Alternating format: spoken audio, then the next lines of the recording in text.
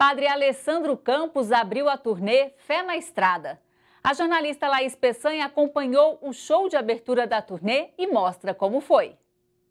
Padre Alessandro Campos voltou a subir aos palcos. De roupa branca e chapéu de cowboy, o padre sertanejo do Brasil soltou a voz esbanjando simpatia e carisma. Músicas caipiras e sertanejas alegraram o público. O saudade dela.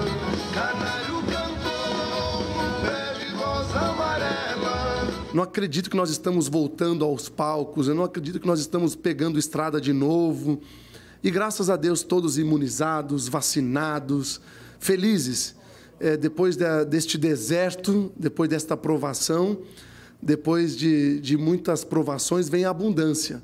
Então, nós acreditamos em Deus, nós cremos em Deus e nós acreditamos no Brasil. Este é o primeiro show da turnê Fé na Estrada. Músicas inéditas e regravações dos maiores sucessos do Padre Alessandro compõem no repertório, que diverte e evangeliza. Eis que faço nova todas as coisas, é a palavra de Deus. Deus não, não nos criou para a tristeza, para a angústia, para o sofrimento, para a depressão. Deus nos quer felizes. Eu vim para que todos tenham vida e a tenham em abundância e a tenham em plenitude. Esse é o desejo de Deus para mim e para você.